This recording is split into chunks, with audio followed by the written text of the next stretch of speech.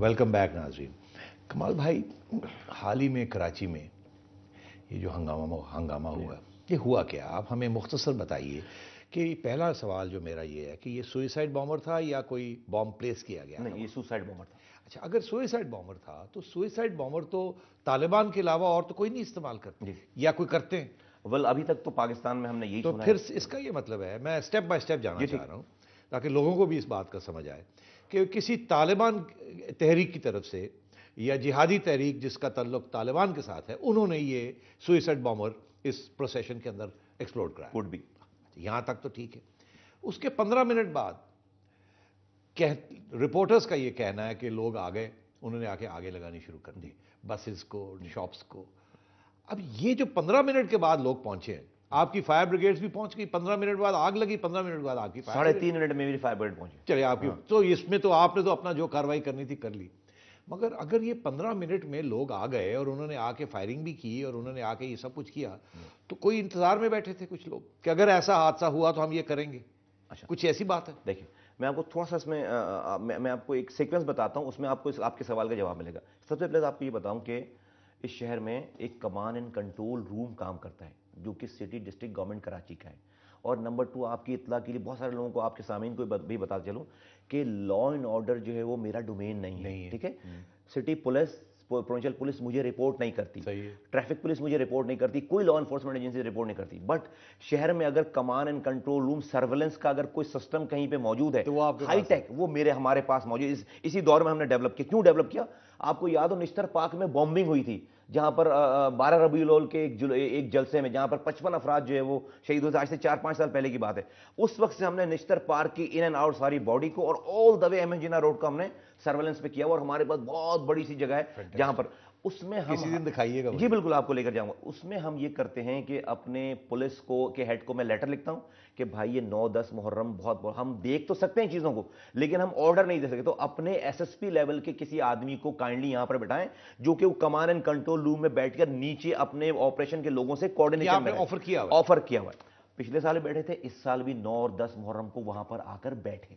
और वहाँ पर एसएसपी जो है वो दो दिन बैठे थे पूरे और मेरे पास जो भी एविडेंसेस और ये जो आप दूसरी बात कर रहे हैं जो ब्लास्ट वो जो फुटेज इशू हुआ है, वो भी हमने किया है।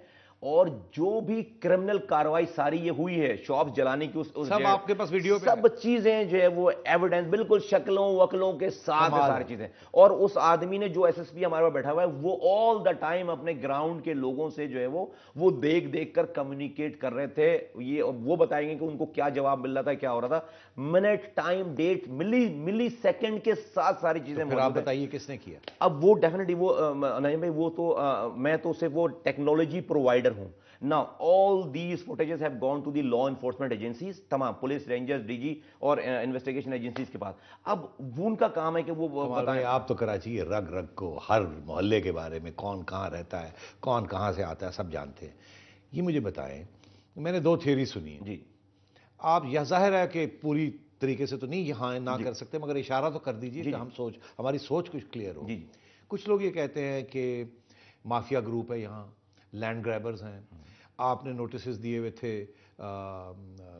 बाज़ार वालों को कि यहाँ से वकेट करें और, और चलें नेशनल हाईवे पे। किसी इस किस्म की कोई बात है? नॉट एट ऑल कोई मुझे मैंने किसी ने मुझे कहा कि जी वो जोड़िया बाज़ार वालों को नोटिस थे कि तीन महीने के अंदर वकेट करें आपको लेके जा रहे हैं national highway no no oh my god कोई ऐसी चीज़ नहीं नॉट एट ऑल अगर ये ऐसा करता तो मुस्तफ़ा कमाल जो कि जो कि खुद नाजिम है वो जिसके पास अपना सिस्टम मौजूद है वो क्या एजेंसीज को लाकर अपने पास दावत देकर बिठाता और वो फुटेजेस निकाल कर मतलब है नहीं, ये कोई ताजरान की तरफ़ से या उनके अंदर कोई इश्यूज़ थे? सर कोई ऐसी बात नहीं सर ये ये आप देखें कि चार साल मेहनत करने के बाद हमने ये बड़ा बड़ी मुश्किल से ये सारा आशियाना बनाया था।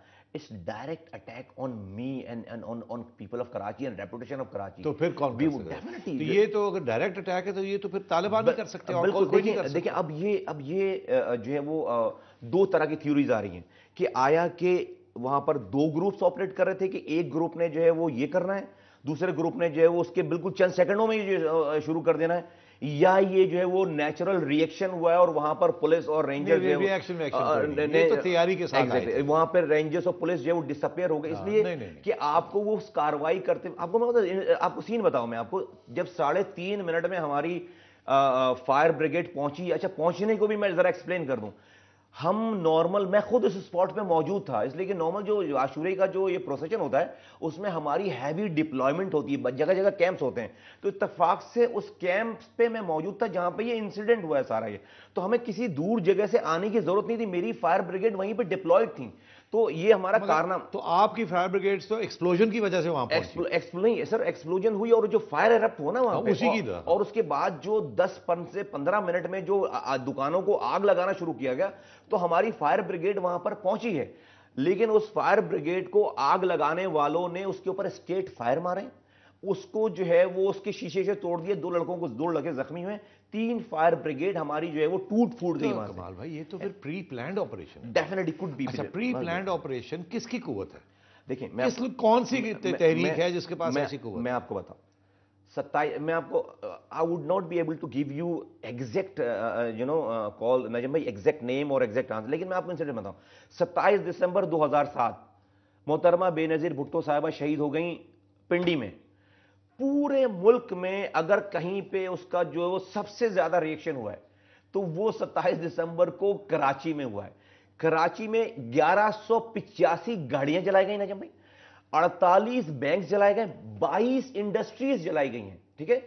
39 लोग जो है वो मारे गए हैं, नौ लोगों को ज़िंदा जलाए गए 1125 गाड़ियाँ पाकिस्तान की तारीख में बासठ सालों में, एक दिन में कराची में कभी भी नहीं जली। अब आप देखें इतने मैस लेवल पे जो कार्रवाई हुई हु वाज द फोर्स अच्छा उसका तो कभी भी ब्लेम एमक्यूएम पे नहीं आया। अगर एक लम्हे एमक्यूएम तो उस दिन जो है वो बचाने के लिए भी नहीं निकली।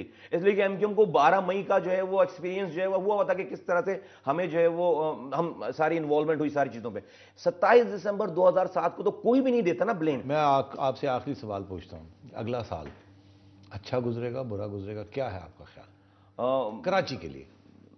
नहीं, कराची के लिए अगला साल अच्छा गुजरेगा। और अगला साल क्या, नजम भाई, हमने तो अगले मोमेंट, एक से मैं आप इसी बात पे जवाब दूँ, देखें, इतने 18 मिलियन की पॉपुलेशन में एक रिएक्शन नहीं है कहीं पे। उस एक घंटे के इंसिडेंट के अलावा, कराची तो अभी जल रहा होना चाहिए ना।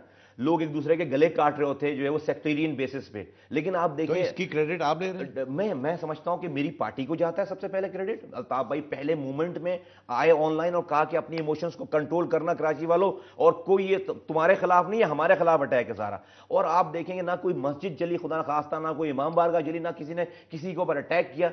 People of Karachi had taken this attack on them on themselves 18 million लोगों पर ये अटैक था। तो जो दुश्मन होगा जो करने वाला होगा उसका इरादा ही यही होगा कि ये शहर महीनों तक जो है वो जलता रहे यहाँ पर ना। एक लोग दूसरे एक दूसरे को मारपीट शुरू कर दें लेकिन ऐसा नहीं हुआ। अब ये जो कॉम्पेंसेशन की बात हो रही है जी। ये जायज़ है? मैं समझता हूँ कि बिल्कुल जायज़ है। ये इसलिए जायज़ है एक तो देखें जो इंसानी जानों का नुकसान हुआ है उसका कोई मदावा नहीं है। गवर्नमेंट जो कर रही है वो ठीक है। गवर्नमेंट तो ढेला नहीं है गवर्नमेंट हाँ लेकिन चीफ मिनिस्टर सर अनाउंस किया लेकिन मैं समझता हूँ कि देखें कराची ना मैं आपके ज़रिए मैं पाकिस्तान की हुकूमत को ही कहना चाहता हूँ कराची ने कभी डिमांड नहीं की, आज मैं डिमांड करता हूँ। देखिए, हम 68 परसेंट रेवेन्यू कमाकर पाकिस्तान के साथ शेयर करते हैं, ठीक है? कभी हमने अपनी अपनी अपनी बात नहीं की। लेकिन आज जो लोग रेवेन्यू कमाने में बैकबोन का रोल प्ले करते हैं, ये ये कारोबारी लोग, उनका सब कुछ जो है वो तबाह बर्बाद हो गया आज मैं on their their behalf as a mayor of Karachi मैं हुकूमत पाकिस्तान से कहता हूँ कि खुदारा इनके घरों को जो है वो तबाह नहीं होने दें। इसलिए अगर सिर्फ़ इनके घर तबाह हो रहे होते तो चलें आप आप अफोर्ड कर सकते थे। ये अगर तबाह हुए तो पूरे पाकिस्तान की इकोनॉमी तबाह होगी। Good luck I wish you good thank you thank you